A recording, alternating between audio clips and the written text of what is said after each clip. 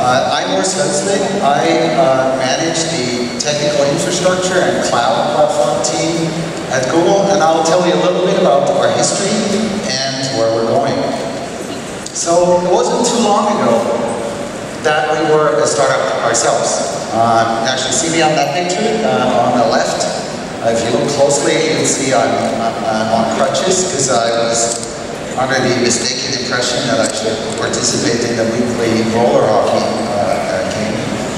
Uh, and back then, we really had a small team with a big idea.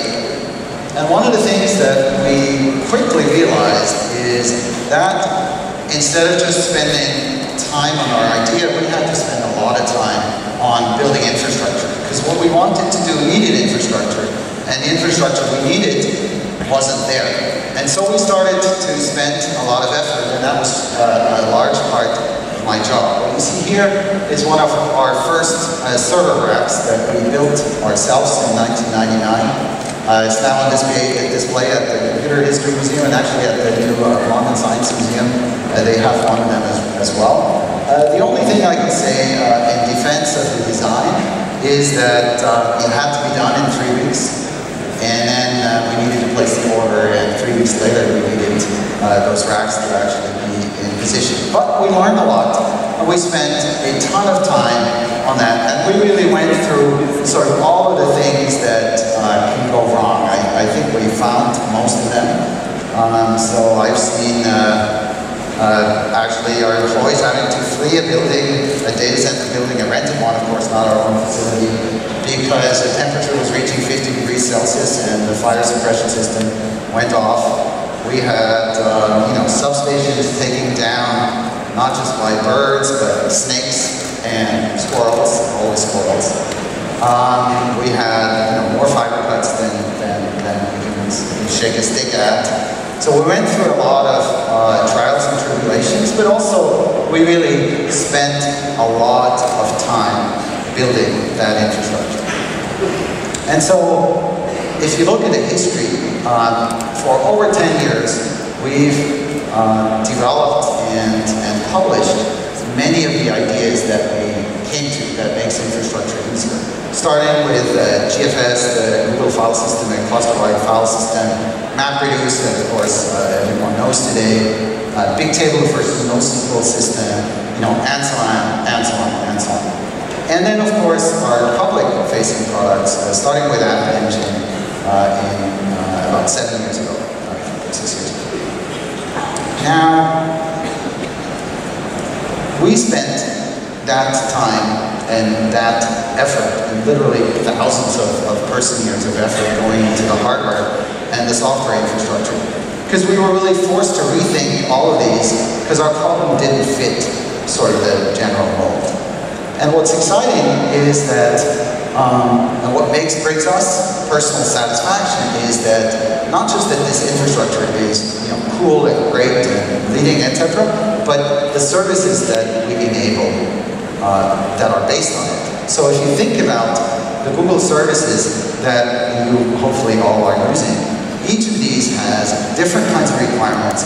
Each of these is a large computational problem, and all of them run on infrastructure that, uh, that we provide. And so even though we're internally the, the engine behind the search engine, so we don't make a product ourselves, we're very proud about really enabling the rest of Google to, to build products uh, on top of that. Now, I'm here today to talk about the Google Cloud Platform. So with the Cloud Platform, we're externalizing all of the infrastructure that we built for everyone to use so that you can benefit from all of our infrastructure experience and that you can focus on the things that you actually want to focus on, your product, rather than the machinery and the services uh, behind it. So let's just have a very brief look at uh, what this is. It's a complete uh, platform of services from very low level to very high level. Starting with compute, you have a whole range from low-level VMs where you can change anything and you get raw VM to managed VMs that we actually can spin up and turn down for you to uh, App Engine, which completely uh, gives you a fully managed platform that scales both your front ends and your back ends without you doing anything. So on App Engine, the only administrative action that you need to perform for your application is that you need to renew your credit card every two years, right? You spend zero time on operations.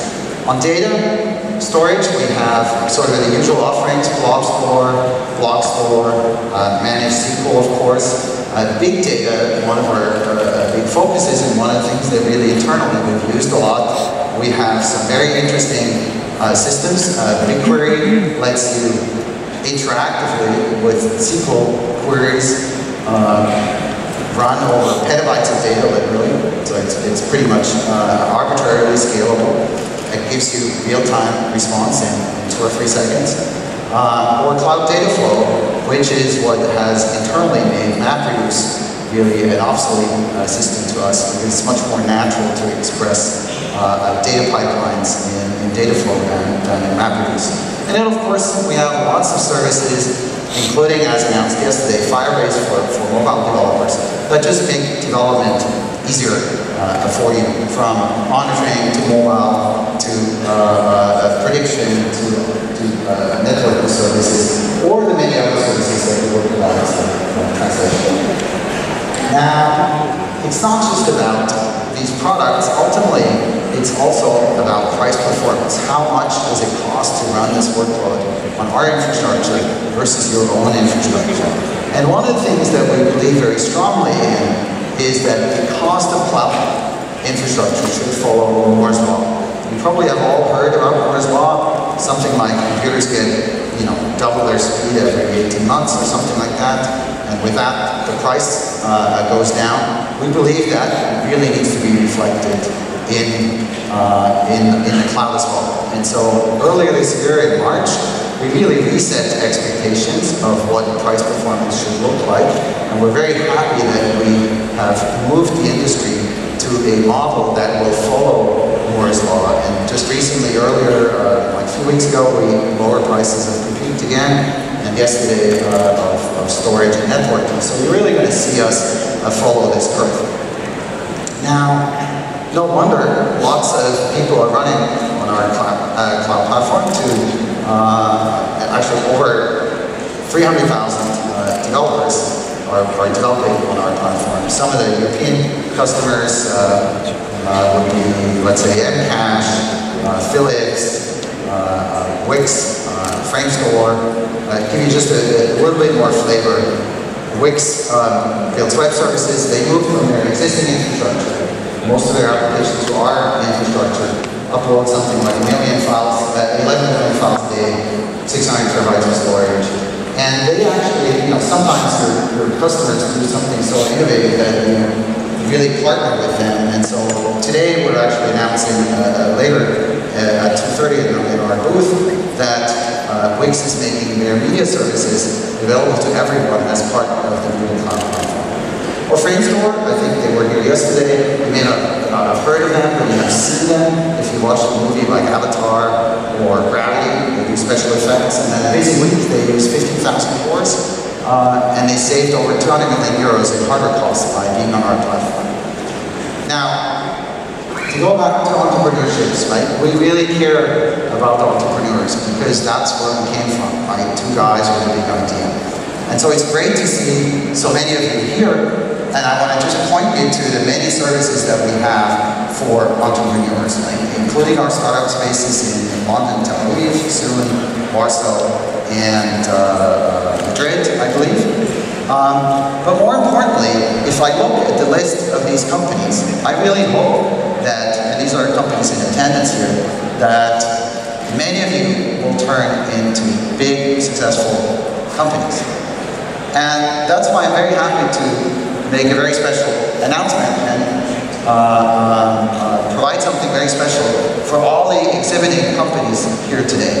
Because we from the Google Cloud Platform, we're making a total of $20 million of startup credits for the Google Cloud Platform, available to every participating company, every exhibiting startup at this summit. So $10,000 for every uh, startup.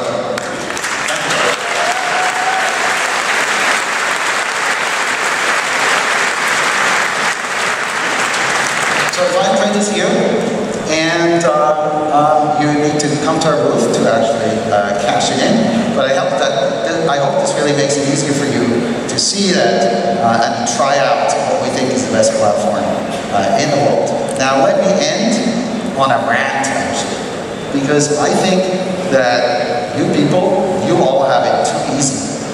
Because we, back when we were startups, we had to build infrastructure with our bare hands, after walking through the snow, no shoes, uphill both ways, and spending our blood, sweat, and tears on all of this. And you, you just sit there, you know, with your latte, you know, spinning up a thousand VMs, and you don't realize how hard that is. So what's with that? Well, what it is, is that this is actually exactly how it should be. Right? This is exactly what we want to accomplish with our platform. You should focus on innovation, not infrastructure. And with our platform, you can. Thank you very much.